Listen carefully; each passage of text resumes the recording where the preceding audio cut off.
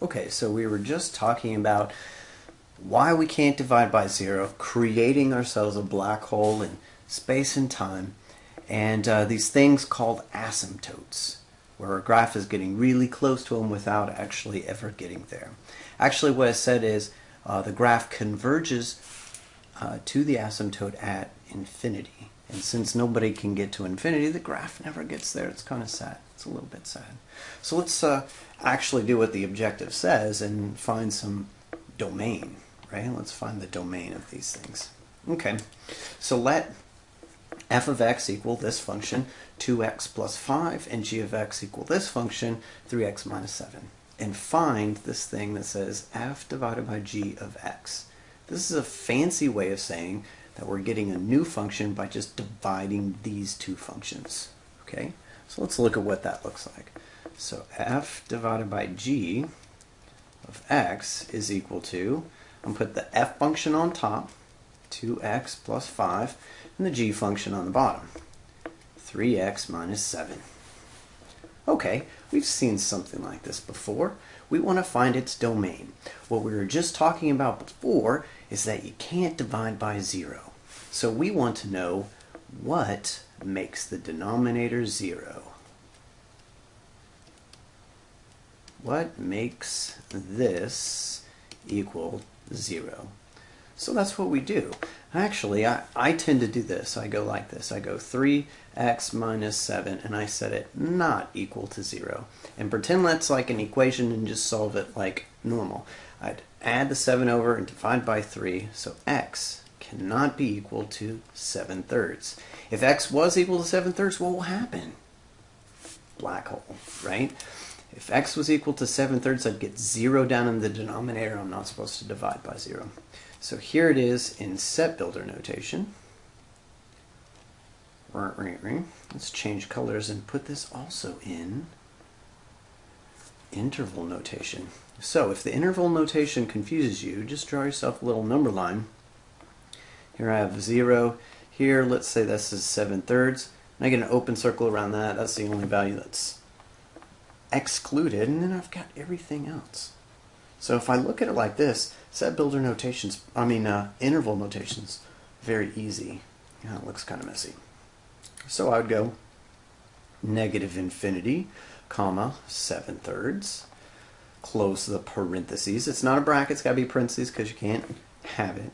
Union, and then we start at 7 thirds again, but it doesn't include that number, to positive infinity. So here it is in interval notation. That's pretty sweet. Okay, just for the next one, let's go ahead and switch that back to red. Okay, so what we just defined there was a rational function. I had a function on top divided by a function on, on the bottom. What kind of functions were they? They were polynomials. So this is the definition of a rational function it just looks like a rational number, right? You have one number like an integer on top of another integer. Except for this time we have a polynomial function on top of a, another polynomial function. Okay, so we're calling the top one n of x, like numerator, calling the bottom one d of x, denominator, and we just have to make sure that the denominator is not equal to 0. Oh, I see, I switched the colors here. That's not cool. Okay.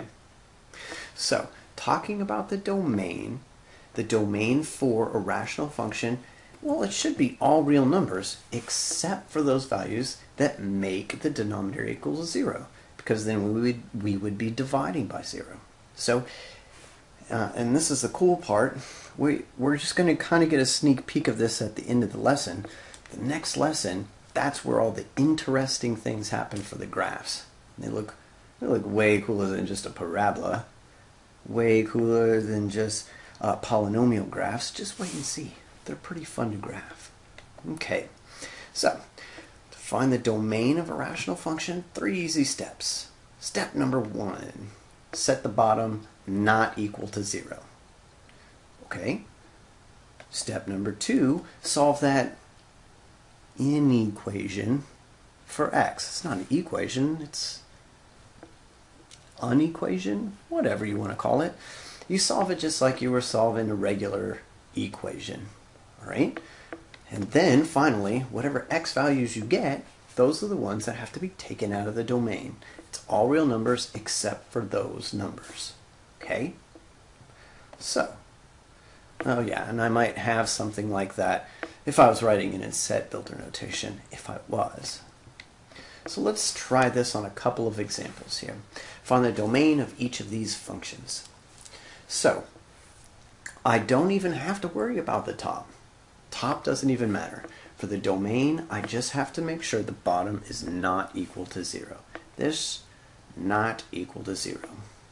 Okay, so what number would make that equal to 0? I would subtract the 8 over, divide it by 2. x is not equal to negative 4. Here it is in set builder notation. And in interval notation, it's everything except for negative 4. So from negative infinity to negative 4, parentheses around these, union, negative 4 again, all the way up to positive infinity. This piece of cake, very, very easy.